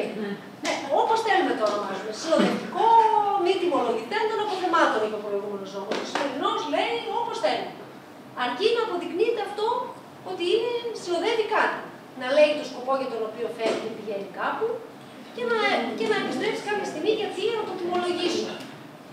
Αν αυτό που πηγαίνω τώρα το έχω τιμολογήσει κιόλας, μπορώ να είναι σκέτο τιμολόγιο. Δηλαδή να μην λέει τιμολόγιο δελτίο αποστολή, λέει σκέτο τιμολόγιο. Τι πας, πέντε ρούχα. Τα πηγαίνω, τα αφήνω, παίρνω τα λεφτά ή θα μου τα βάλει τα λεφτά και τα έχω συνοδεύσει με το σκέτο τιμολόγιο τα πράγματα. Δεν χρειάζεται να εκδίδεται αυτό όταν είναι για εσωτερικές μεταφορές, δηλαδή και αν κάνουμε μετακόμιση. Φεύγουμε από τον χώρο και πάμε σε έναν άλλο ή ε, επιστρέφονται κενά ήδη συσκευασία. Πολλές φορές έχουμε κάβες οι οποίε πηγαίνουν και παίρνουν τα μπουκάλια πίσω. Δεν χρειάζεται πια να κόβουν δελτίο αποστολής.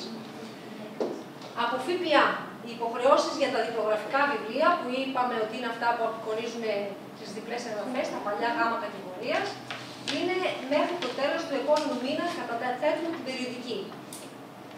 Για όσους κάνουν ενδοκινοτικές συναλλαγές, θα πρέπει να το δηλώνουν λίγο νωρίτερα. Δηλαδή έως τις 25 και αν υπάρχονται δραστά, είναι όταν έχουμε όχι υπηρεσίες, αλλά πράγματα τα οποία έχουν και ένα μεταφορικό μέσο που συνοδεύεται. Καταθέτουμε μια ειδική κατάσταση στη στατιστική υπηρεσία με τι μέσο ήρθαν, πόσα κιλά ήταν, ένα τέτοιο στοιχείο και αυτό είναι μέχρι τις 25.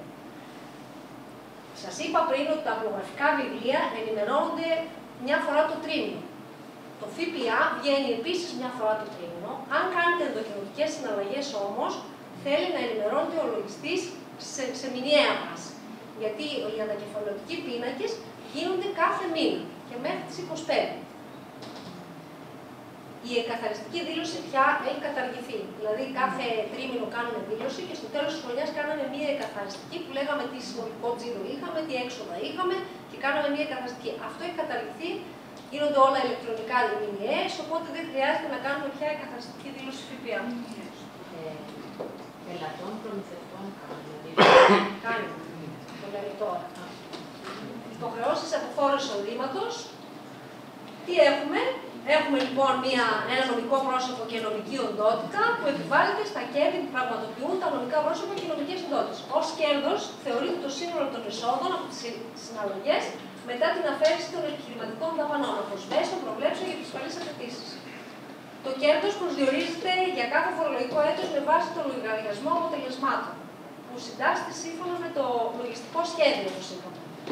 Και ο κώδικας φορολογικής απεικόνησης συναλλαγών πια έχει, ακυρώθηκε ψηφίζοντας τα ελληνικά λογιστικά πρότυπα. Περιλαμβάνουν και τον κώδικα, το πώς θα κόβουμε δηλαδή το δελτίο και πώς θα κόβουμε το τιμολόγιο. Είναι ένας μόνο ενιαίος.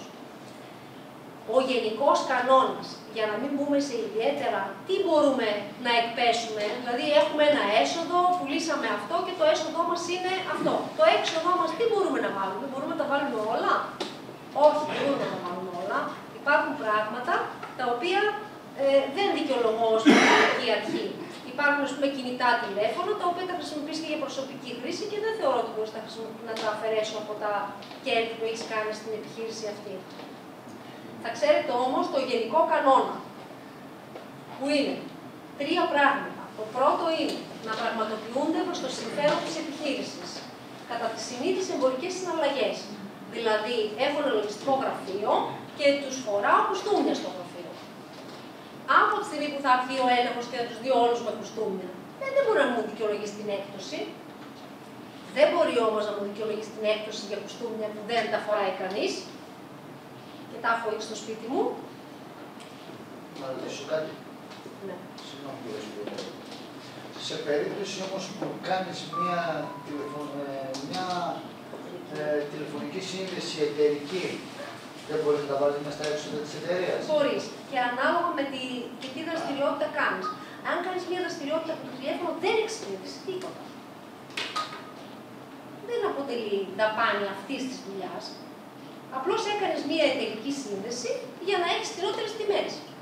Δεν εξυπηρετεί αυτή η δουλειά που κάνεις. Έχεις όμως μια δουλειά που είσαι αντιπρόσωπος, ε, το τηλέφωνο το χρησιμοποιείς και δίνεις και τηλέφωνο στους εργαζόμενους. Σαφώς εκπίπτει αντιστοιχούν σε πραγματική συναλλαγή και η αξία της συναλλαγής δεν κρίνεται κατώτερη ή ανώτερη της αγορέα. Τι σημαίνει αυτό, φέρατε έναν υπολογιστή από το σπίτι. Και επειδή εδώ εκπίπτει, ενώ δεν έχετε πάρει χρήματα, λέτε κόψτε το 1000 ευρώ, ας πούμε, το παραστατικό για να το βάλουμε στα έξοδα, ενώ ούτε τα χρήματα έχετε πάρει, ούτε η αξία του είναι τόση. Ένα μεταχειρισμένο λάπτοπ, ας πούμε. Έτσι, αυτό κρίνεται κατά τον έλεγχο. Τώρα κατά τον έλεγχο, αυτό να βάλει το χέρι εγγράφονται στα τηρούμενα βιβλία, δηλαδή εκτός ότι το έχω ήταν αποτελεί δαπάνη που φαίνεται ότι είναι της παραγωγικής διαδικασίας, ε, είναι πραγματική συναλλαγή, πρέπει να είναι και καταχωρημένο κάπου. Έτσι. Είναι οι βασικές προποθέσει. Από εκεί και μετά υπάρχουν λεπτομέρειες οι οποίες είναι εξειδικευμένες και δεν θέλετε να ασχοληθούμε με αυτό, φαντάζομαι.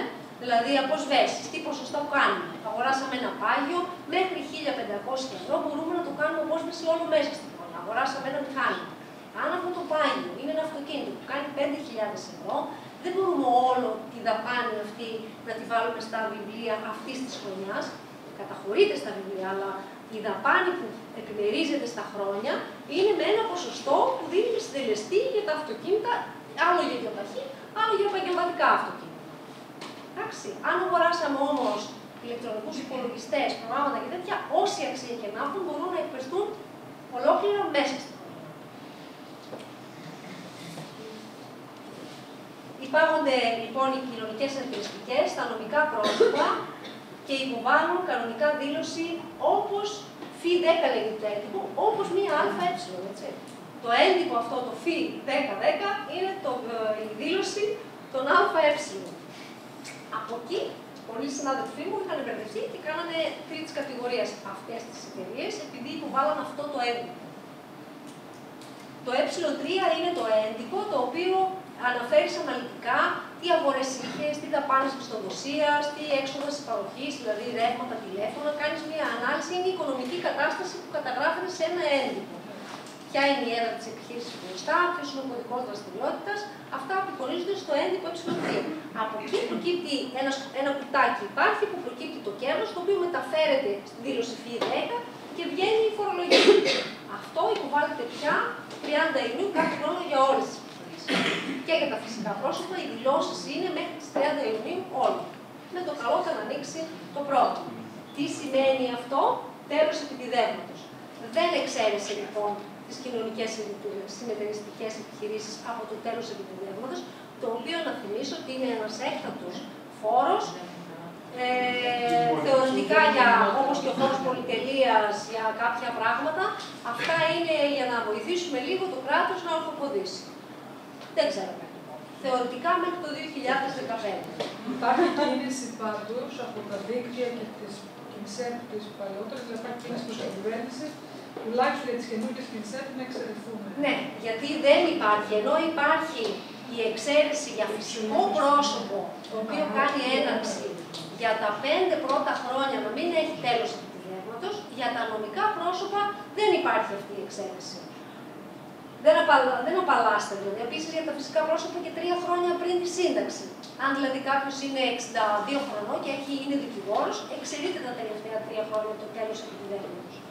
Τώρα, αν η έδρα της επιχείρησής σας είναι στην Κατερίνη, πληρώνει το 800 ευρώ. Και για κάθε υποκατάστημα ε, 500. Αν όμως είναι στη Θεσσαλονίκη, που Θεσσαλονίκη είναι και περιφερειακή δήμη, Δηλαδή είναι η Πηλαία, η Σύνδρος. Ε, αυτό είναι στα 1000 ευρώ και για κάθε υποκατάστημα είναι 600 ευρώ.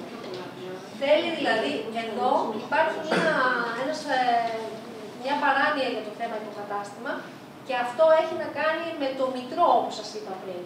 Όταν πάει κάποιος, ο οποίος δεν, δεν το ξέρει και δηλώνει σαν υποκατάστημα ένα χώρο που είναι απλώς αποθήκη, τότε θα πληρώνει και για την αποθήκη 600 ευρώ χωρίς να έχει την υποχρέωση. Πρέπει να δηλώσει ότι αυτός ο χώρος είναι αποθηκευτικός χώρος ή εκθεσιακός χώρος, όταν έχουμε έκθεση κάπου, για να μην έχει αυτό το του υποκαταστήματος. Το ένα μπορεί να είναι έδρα, το άλλο να είναι ένα γραφείο. Ακριβώς. Το γραφείο δεν έχει τέλος επιδεύματο, ο αποθηκευτικός χώρος δεν έχει τέλος επιδεύματο ε, και ο εκθεσιακός χώρος δεν έχει τέλος επιδεύματο. Εντάξει. Φυσικά όταν είναι μέσα στη διάρκεια της χρονιάς υπολογίζεται σε 12. Δηλαδή, αν κάποιος ξεκινήσει τον Ιούλιο, πληρώνει τα 6 το 10 από το τέλος επιτιδεύματος. Αυτό βγαίνει μαζί με την υποβολή της δήλωσης. Δηλαδή, δεν πάτε να το πληρώσετε. Την ώρα που θα κάνει ο λογιστής τη δήλωση και θα την υποβάλει ηλεκτρονικά, θα βγει αυτόματα από μόνο του το τέλος επιτιδεύματος εκεί στη δήλωση. Γιατί ξέρει το. και χωρίζεται σε δόσεις. Δηλαδή. Συμψηφίζεται όμως. Συμψηφίζεται με τι; Αν είχαμε επιστροφή, νέα Ναι, αν είχε επιστροφή φόρου, το εκαθαριστικό όπως βγαίνει, αν ας πούμε είχατε πληρώσει πέρσι, όταν πληρώνουμε, πληρώνουμε και προκαταβολή. Και φέτος είναι τα κέρδη σας μειωμένα. Και έχετε να πάρετε αυτή την επιστροφή, βγαίνει, γίνεται σαν εκαθάριση. Βγαίνει να πληρώσετε το τέλος επιδιδέματο, στο τέλος βγαίνει να πάρετε λιγότερα. Ή να πληρώσετε. Πληρώνετε σε 8 δόσεις. Ε, για το τέλο του επιδέματο που λέτε, ε, γράφει εμπορική επιχείρηση. Αν είναι επιχείρηση με παροχής υπηρεσιών. Εμπορική.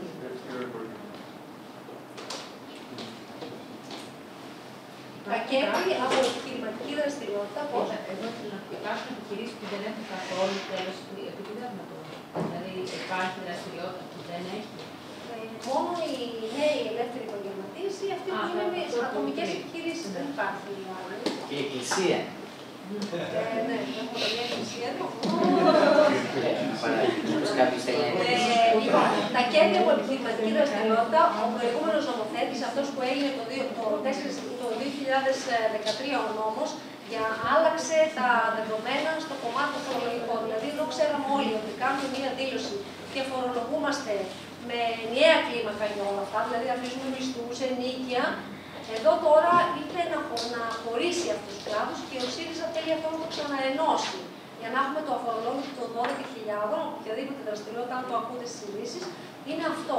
Δηλαδή να ξαναενώσει μια κλίμακα και να αφήσουμε πάλι όλα τα εισοδήματα. Αυτός ο νόμος για τον οποίο θα φορολογηθούμε τώρα και μέχρι να αλλάξει κάτι, ξεχωρίζει και μιλάει για επιχειρηματική δραστηριότητα, η οποία ε, είναι μέχρι 50.000 26% και ό,τι παραπάνω είναι με 33%.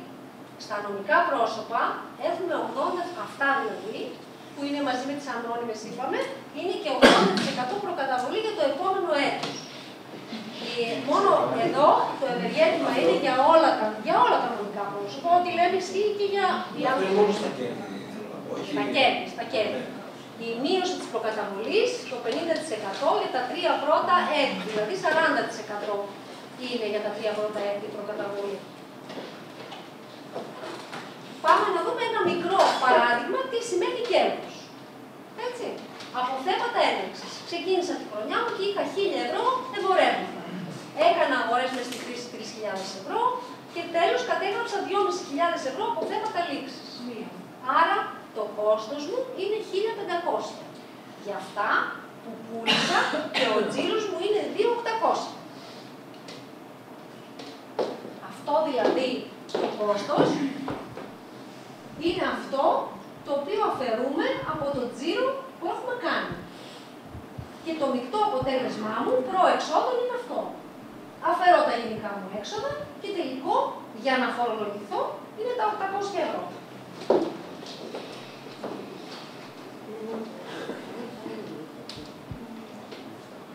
Το, τα αποθέματα λήξη τι είναι. Τα εμπορεύματα που έχω στο μαγαζί όταν έκλεισα την χρονιά. Και τα αποθέματα είναι Αυτά που είχα όταν ξεκίνησα το πρόγραμμα. Α, ναι, okay. Ο νόμος ε, με τα ελληνικά λογιστικά πρότυπα ήρθε να αλλάξει σε αυτό αρκετά, γιατί σε αυτούς που είχαν τζίρο κάτω από 150.000 ευρώ, του έδινε το δικαίωμα να μην κάνουν απογραφή και να πούνε το 10% των αγορών της προηγούμενης χρήσης ότι είναι από θέματα έναρξης και το 10% των αγορών της χρήσης ότι είναι από θέματα λήξης. Αυτό όμως σε κάθε περίπτωση είναι τεκμαρτό αποτέλεσμα. Δεν μπορεί να προκύψει πραγματικά. Φανταστείτε ένα νοσοκομείο που έχει εμπόρευμα μέσα στο μαγαζί του 400.000 ευρώ και κάνει τζίρο 20.000 ευρώ. Αν θα αδικηθεί κάποια στιγμή όταν θα πουλήσει όλο του αυτό το εμπόρευμα και δεν θα έχει να το καταλάβει γιατί δεν αγόρασε τίποτα. Πουλάει από αυτό που έχει. Άρα από τη στιγμή που πάμε σε πραγματικά αποτελέσματα, καλό είναι να κάνουμε απογραφή διότι ο νόμος ο καινούριος θέλει, αυτό θα το δούμε βέβαια του χρόνου, ακούτε πράγματα τα οποία είναι καινούργια για την Δέλτα, ακόμα και αυτή τη στιγμή που μιλάμε ισχύουν για το 2015. Δεν ισχύουν για το 2014, οι δηλώσεις που θα υποβάλουμε θα είναι με τα άλλα. Αυτά που σας λέω είναι αυτά που ισχύουν το 2015. Αν λοιπόν δεν κάνετε, έχετε το δικαίωμα να μην κάνετε απογραφή από τη στιγμή που είστε κάτω από 150.000 ευρώ, Άρα δεν σας υπολογίσω στο τέλος τα αποτελέσματά σας καθόλου από θέματα. Θα θεωρήσω ότι όλα τα έχετε πουλήσει. Και μπορεί τον πρώτο χρόνο που κάνετε τις αγορές να είστε ευεργετημένοι γιατί θα δείξετε λιγότερα κέρδη. Το δεύτερο χρόνο όμως που θα πουλάτε χωρίς να κάνετε αγορές, εκεί θα χάνετε. Κατανοητό. Γιατί δεν θα έχουν αγορές και θα έχουν μόνο πωλήσεις. Δεν έχουμε να αφαιρέσουμε μέσω. Είναι καλό, το συμβουλεύω, εκτός εάν είμαστε σε μια κατηγορία δύσκολη που έχουμε πολλά ψηλοπράγματα τα οποία θα, θα χάσουμε πολύ τιμό χρόνο για να τα καταγράψουμε όλα αυτά. Καλύτερα να το ζυγίσουμε φορολογικά και μετά να πάρουμε την απόφαση. Λοιπόν, άλλες φορολογικές σταθερές είναι το βάσανο όλων των λογιστικών γραφείων, επιμηνιέ, ιδεωτικέ καταστάσεις πελατών. Γίνεται μία φορά, ελέγχεται 25 φορές το μήνα. Δηλαδή, κάναμε τις δηλώσει δηλώσεις. Εγώ προσωπικά το γραφείο μου τελείωσε όλες τις συγκεντρωτικές τον Δεκέμβριο και μέχρι σήμερα που μιλάμε, ξαναμπαίνουμε, ξαναβλέπουμε μήπως ο απέναντι έχει υποβάλει κάτι διαφορετικό από αυτό που έχω υποβάλει εγώ. Οπότε μπαίνεις και βλέπεις τη διαφορά σου. Βλέπεις δηλαδή ότι ενώ εσύ έχεις υποβάλει και έχει δεχτεί ένα τιμολόγιο, άλλο έχεις υποβάλει και έχει δύο τιμολόγια από σένα. Και μπαίνεις στη διαδικασία να το διασταυρώσεις. Να πάρεις τηλέφωνο, να σου πει γιατί βλέπει δύο, πού το είδε αυτό, να σου πει ότι έχει κάνει λάθος, να το διορθώσει αυτό ή εσύ. Και όσο υπάρχει η προθεσμία που υπάρχει, αυτή τη στιγμή έχουν βάλει παράταση μέχρι το Σεπτέμβριο, έχει καλώ. Δεν ξέρω αν θα κλείσει. Είναι από το πρώτο ευρώ, είναι πολύ ε, μεγάλο θέμα να, να κόβετε παραστατικά με το αφημί σας και τα στοιχεία σας και να μην τα δίνετε στο λογιστή. Είτε γιατί δεν έχετε καταλάβει, πηγαίνετε σε ένα συνεργείο αυτοκινήτων και είστε δικηγόρος. Και ενώ αυτό δεν θα το χρησιμοποιήσετε για να το βάλετε στα βιβλία σας, σας ρωτάει να κόψω και κόβει την, το τιμολόγιο και βάζει ότι είστε δικηγόρος. Το λογιστήριο βλέπει το επάγγελμα. Θα λέτε ιδιώτης. Όταν χρησιμοποιείτε κάτι για προσωπική χρήση, δεν θα λέτε επάγγελμα. Με το που θα δείτε το λογιστήριο τη λέξη ιδιώτη, σημαίνει ότι δεν θα το πάρει συγκεντρωτική. Και από εκεί ξεκινούν πάρα πολλά θέματα. Ε, Άλλες φορολογικές υποχρεώσεις είναι οι παρακατούμενοι φόροι, χαρτόσημα, μισθωτήρια, ιδιωτικά συμφωνικά. Το κάθε ένα σε διαφορετικές ημερομηνίες. Οι παρακρατούμενοι φόροι πηγαίνουν μέχρι το τέλος του επόμενου μήνα. Η, τα, του μεθεπόμενου μήνα, δηλαδή η παρακράτηση του Ιανουαρίου, πηγαίνει και αποδίδεται το Μάρτιο. Ε, χαρτόσημα κάθε τρίμηνο. Ε, τα μισθωτήρια ε, πηγαίνουν μέχρι το τέλος του επόμενου μήνα. Ένα μισθωτήριο που έχει συνταχθεί το Φεβρουάριο, η προθεσμία του είναι μέχρι τέλος Μαρτίου. Όποια μέρα είναι. Η λύση. Η λύση μισθωτήριου δεν καταπληκτεί. Χαρτόσημα αυτέ τι περιπτώσει. Χαρτόσημα, παραδείγματος χάρη, όταν σας είπα ότι ας πούμε εμείς οι πέντε συγκληθήκαμε και εσύ θα φέρεις το κομπιούτερ, εγώ θα φέρω το γραφείο, το σπίτι, θα φέρει κάποιος άλλος κάτι άλλο για να αποκτηθούν από την κοινωνική συνεταιριστική που είμαστε, την πρέπει να κόψουμε τίτλο κτήση. Θα κόψω ένα τίτλο κτήση, έτσι ονομάζεται, απόδειξη δαπάνης ονομαζόταν παλιά, τιμολόγιο αγοράς. Αγόρασα δηλαδή επειδή ο άλλο δεν είναι υποχρέωση να το δεν έχει σαν ιδιώτης υποχρέωση, όπου εγώ που το αποκτώ από σένα, ένα τίτλο κτήση λέγεται. Αυτό γράφω ότι είναι αυτό που αποκτώ και αποδίδω χαρτόσημο γι' αυτό. Κάθε τρίμηνο. Αυτό πρέπει να έχει τίμημα. Μπορεί να είναι δωρεάν παραχώρηση. Ναι. Εγώ θέλω παραχωρώ τον υπολογιστή μου γιατί είμαι μέλος της ΚΙΣΑ και θέλω Δεν υπάρχει εγγραφή χωρίς 0,01 αξία. Α, όταν θα αποσβέσω αυτό το πράγμα, ακόμα και όταν θα το έχω αποσβέσει, αλλά βρίσκεται εδώ, αποσβεσμένο, βρίσκεται με 0,01 αξία για να είναι καταγεγραμμένο. Αλλιώς σβήνεται, δεν υπάρχει. Έτσι, για να το σβήσω κάνω μια άλλη διαδικασία. Κάνω καταστροφή αυτού του 0,01. Βέβαια, ελέγχονται όλα αυτά. Το, μπορεί να είναι πράγματι 0,01, αλλά και τι πραγματική αξία θα μπορούσε να έχει, 10, 20, 30. Ναι. Λίγο να πάω παραπέρα αυτό. Υπάρχουν περιπτώσεις, για παράδειγμα, άνθρωποι που έχουν παλιά έπιπλα και τα οποία είναι να πάνε στο παλιατζή και να πεταχτούν, θα μπορούσαν με βάση μια αισθητική που έχουμε επιλέξει, ας πούμε εμείς, να τα πάρουμε ε, και ως μια νοοτροπία επαναχρησιμοποίησης και όλα αυτά, να τα πάρουμε στη δική μας επιχείρηση, αλλά δεν τα έχουμε αγοράσει, γιατί αλλιώς θα του. Να κάνετε κυκλοκτήσει. Κυκλοκτήσει, αυτό που μου λέει. Θα το αποκτήσετε με κυκλοκτήσει για να βρίσκονται επίσημα στο χώρο σας. Έτσι. Τα ιδιωτικά συμπολιτικά. Οποιαδήποτε πράξη και αν κάνετε με έναν άνθρωπο που θα συνεργαστείτε, είναι καλό να κάνετε ιδιωτικά συμφωνητικά δεν έχει υποχρέωση αυτά τα ιδιωτικά συμφωνητικά να τα καταθέτει ιδιώτης. Αν όμως συμβάλλομαι εγώ που είμαι επιχείρηση με μία άλλη που είναι επιχείρηση, υποχρέωση έχουμε και οι δύο να καταθέσουν το ιδιωτικό συμφωνητικό και από την Παρασκευή λειτουργεί και η πλατφόρμα να καταθέσετε ηλεκτρονικά. Άρχισε Ναι, άρχισε.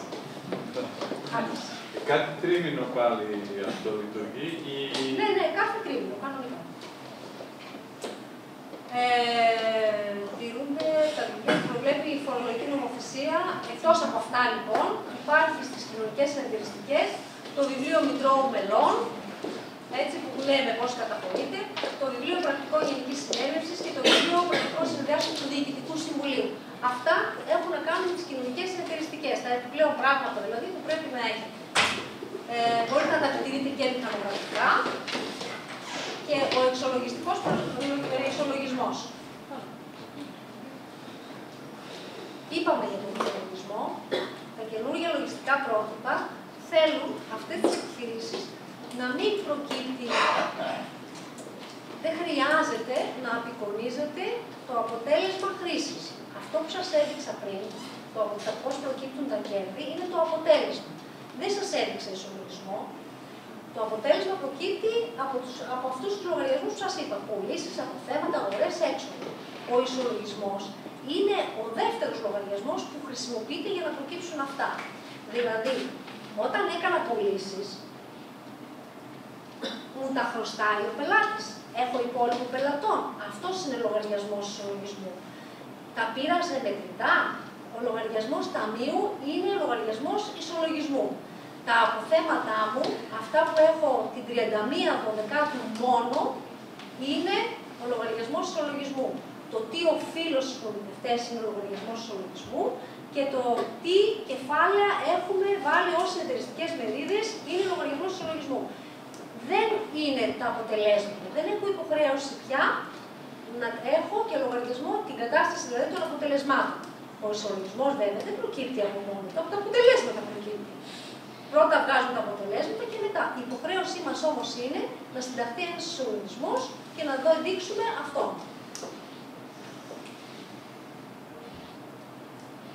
Οφείλουμε λοιπόν να κτηρούμε εξολογιστικά τον ισολογισμό και τα αποτελέσματα.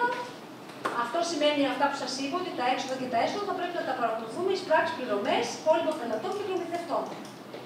Δημοσιεύεται στο Μητρό μετά την υποβολή της δήλωσης. Θα πρέπει δηλαδή να στείλουμε και εκεί. Αναρτώνται υποχρεωτικά και στο διαδίκτυο, λέει, στην ηλεκτρονική σελίδα.